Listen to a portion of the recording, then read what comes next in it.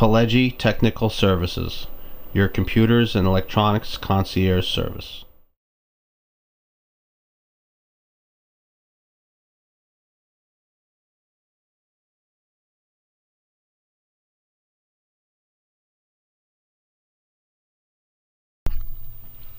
Well, it's been a couple days, so I decided to come out to the shed and just gather some more supplies. Um, I get out and uh, my shop in the house and start working on some stuff late at night, tinkering with different things, come up with different ideas, and then I run out of parts, and I have to either go out and buy them or order them online or come out to the shed and see what I have out here and stuff I pulled out of things.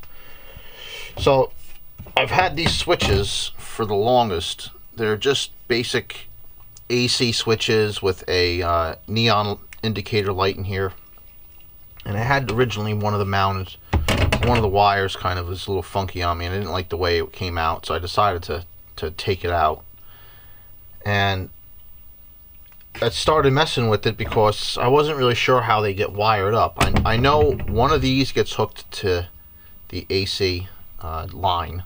One gets hooked to the load and the other gets hooked to the neutral. So that way when you flip the switch on, the uh, light will glow or you can make it glow all the time depending on how you wire it and these are old. I can't find a data switch on a, a data sheet on them anymore to, to see what the correct way to do it is. So the one that went bad on me I tore apart. And it seems that when you switch this switch back and forth it actually toggles a little slider back and forth between the middle con uh, contact and then the end contacts. Um, I've seen online where this would be your load, this would be your AC in, and this would be your neutral. But when you flip the switch the other way, it jumps those two out. I mean, I put a multimeter to it, and it doesn't, uh, you know, buzz with the continuity tester.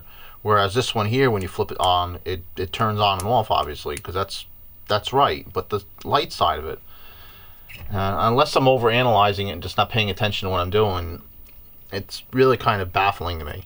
What I wanted to do was is make it so when I plug in the power cord into the back of the power supply I'm building, it would make this light up, and then when you flip the switch on, the power supply would, you know, become active, obviously, and that would turn another little light on. But what I really wanted to do was put one of these switches in. I just couldn't find one. I had them around here. I didn't want to buy one. Well, I finally found it. And now, obviously, I have the big hole here. So I'm going to try to come up with some kind of a way to block that hole off and, you know, get this mounted here in its place. Um, also, while I'm out here, I need to get some kind of cord. Now, I'm not going to use this plug end of it. I'm just using the actual cord. And curiously enough, I have these old power supplies that I ripped out of something. And this is actually the part that went here to bring the power into it, but the terminal next to it is what went to a switch. So my thing is, is I need to connect the power cord from the back of the power supply to the um, switch in the front, and then from that going back to the uh, actual power supply. And with the third wire with this uh, neutral, it was making it a little harder because I had to have um, you know the doubled up wires. But now that I dug this out, I've looked at it and said, hmm, maybe I can just cut this board right here and use this in and out piece, mount that inside the project, and then that way what I can do is have um, a way to be able to disconnect that when I take that case apart because this is basically going right from the back of the unit to the front right to the back again. Um, I mean, I suppose just undoing the front screw is going to leave that loose, but it's always good to have another disconnection point. Um, it's also good to note that these connectors here are the same connectors that are actually on the other power supply that I'm working with. So it's kind of nice that that's a universal thing. So I might just desolder these and just have them as a spare. I'm not sure, but um, at any rate, this is, like I said, just a spare board that I took out of something. Just, i know it still works. It just provides a bunch of weird voltages. If you can see up here. Uh, it's a positive 5 volt there's a couple of those rails. There's a ground set, a positive 9 volt, negative 9 volt. There's some AC voltage here, and then there's negative 25 volt at the end. So it's, uh, I'm not sure what this was from. I don't really remember now, but needless to say, it's, uh, you know, a small little unit that I don't really have much of a use for until I know I think I think I do. So it just stays in the shed here in a, in a bin, and uh, it's actually going to come in the house because I might just desolder those and use them for something. This is coming in, and this I got to find another way to get this mounted.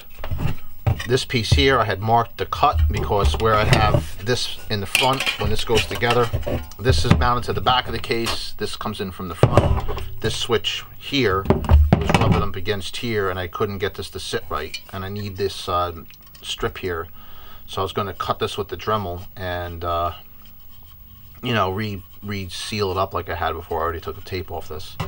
But now that I'm going to use this switch, it should be a lot better. I wouldn't have to worry about that.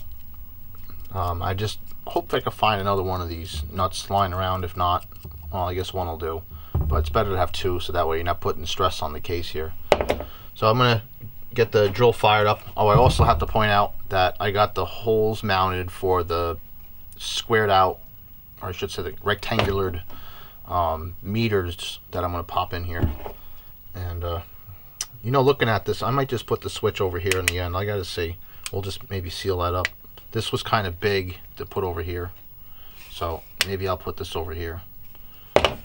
Well, with that, I'm going to cut the camera. We'll come back later when I got some more progress to this. Well, I got all the holes cut here. You can see I put some duct tape over the original switch hole that I made. It's kind of ugly, but it does, you know, serve a purpose right now. That's probably where I'll put some kind of a label or something like that, or um, I still haven't figured out exactly what I'm going to do with that yet. I might just get a plug and plug it. We'll, we'll see.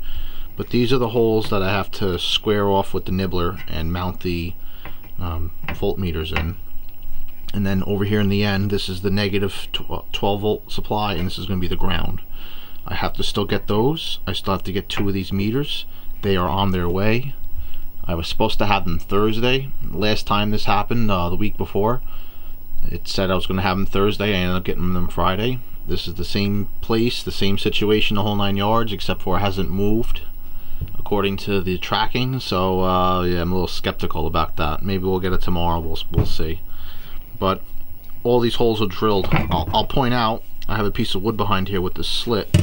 That's because these um, LED bezels here need to fit into that so this can sit flush when I go to drill this. So it's just something I kind of rigged up real quick. Yeah, that's all for now for this. I gotta go inside with this video and I'm gonna take a break for dinner and when I come back to it I'll have these holes squared up. I just want to give a little update on what I've got going on so far. You can see over here I've got the holes ready to go. I actually got one of the meters in place uh, loosely because I have to still drill the holes out and figure how I'm going to mount it. But I wanted to see how this would work. I'll actually uh, hook this up in just a second here. The leads are just connected on the back with uh, a little bolt and then eventually I'm going to have this connected to the mains on the power supply here the main you know power connection and then that way you'll be able to find out what the actual voltage is at that particular point and it's going to be 12 volt 5 volt and 3.3 volt at the end. I'm not sure which color I'm going to put where but they all are different colors kind of make it a little more visual. This is the uh, on and off switch for the actual power supply portion itself and then this is the mains input um, switch. And the way this is going to be is when this is on the USB port here and the power light here are all on.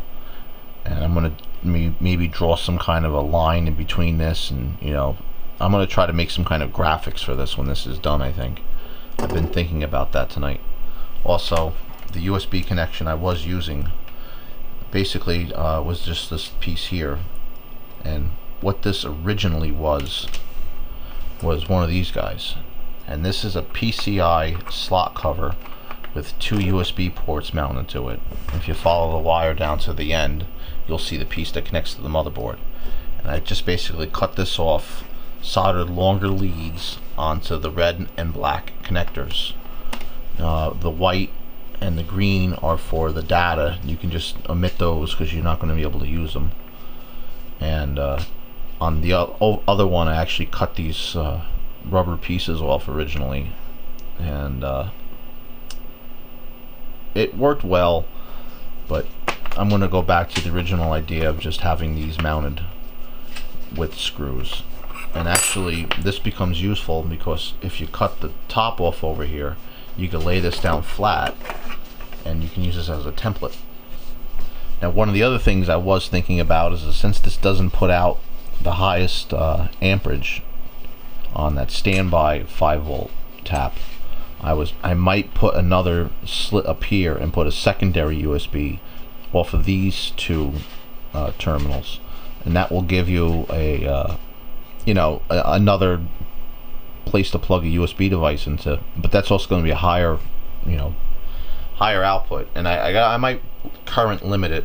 I got to figure out how to do that. Maybe some kind of a resistor or maybe a, a an LM317 in current uh, limiting mode, or I, I got to figure that one out and then I'll have to figure out how I'm going to get that mounted. I'm just going to use this like a, like a template. I'm going to place it over it, mount the hole, uh, mark the holes, drill that out. That should still fit. I got to see how that's going to clear with the switch next to it here. But let me uh, put the camera down for a second. I'll set this up. I have my power supply off in the corner. You can see the leads going around back over there and I have this hooked up to I think the 5 volt or the 12 volt not don't really remember but I have it hooked up to one of the taps. And we'll I'll connect it to the back here and we can see and I'll hook the meter up real quick the actual my fluke meter and see if it's accurate. And this is basically what the end result's going to look like. You can see it's uh, just kind of just sitting there flapping in the wind right now but uh, I'm not sure if I want to have this sticking out or if I want to have it flush. I think flush is the best way. I've been toying around with that one too. I kind of think that's a really cool uh, uh, visual aid too. And let's just see if it's accurate. Now, like I said, the 5 volt one's actually going to be in the middle, but that's just where I stuck it because actually I think I want the yellow one here. Because usually on these uh, power supplies, the yellow um, connection, the yellow wires are the 12 volt power. They use that. They use red for 5 volt, and they use orange for 3.3 volt. But there's no orange one, so I have green coming instead. But let's see, I have my fluke meter over here. Let's turn this on. Connect these guys. See if I can do this one-handed. These are non-fluke ends on here. I just got these from Radio Shack. Oh.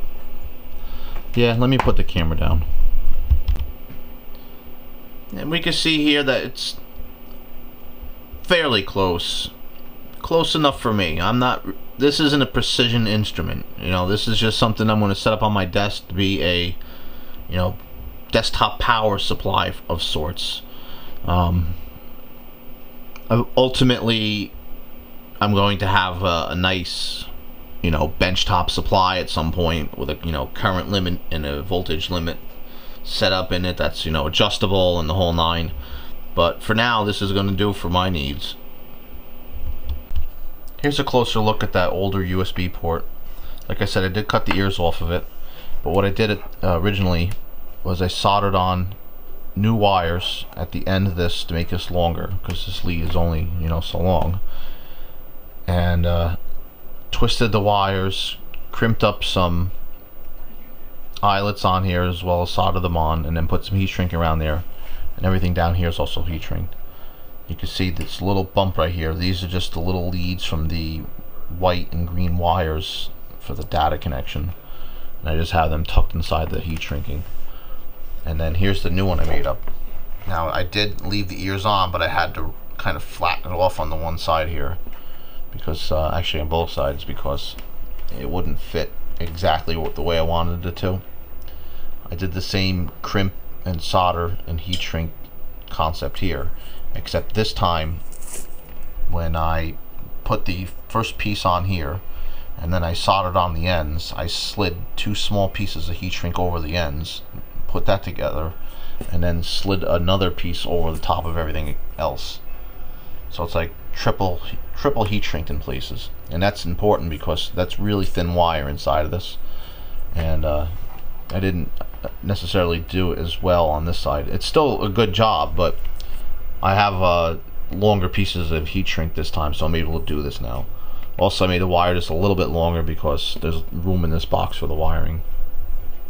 I still may go ahead and put another port up here. I have decided that. I still have to figure out how I'm going to do the current limiter because I do only want it to put out so much. Unless I can get a bank of USBs and then I can do a you know higher current obviously. But alas, this one's all set now.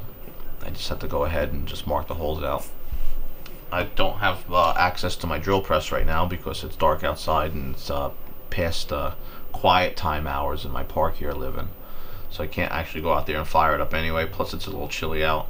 I'm going to do that tomorrow or I may just bust out the hand drill which I have inside here and just do it with the uh, cordless drill. But it's a little more accurate doing on the drill press. Plus I feel a little more confident with my uh, drilling with that machine. So I may just leave it for that. But I gotta go online and see if I can figure out how I'm gonna do the current limiter.